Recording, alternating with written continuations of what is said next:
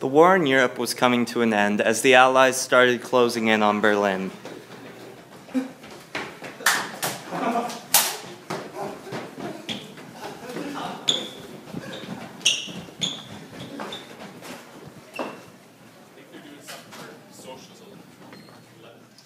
Before he could be captured, Hitler committed suicide.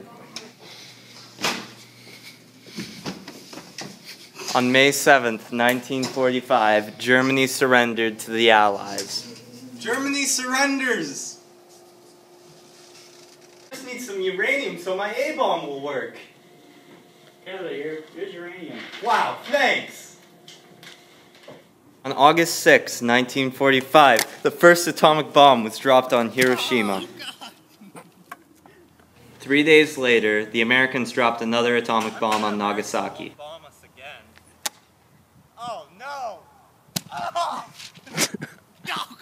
Two atomic bombs killed 100,000 and another at 100,000 were wounded. Shortly after, on August 14th, Japan surrendered.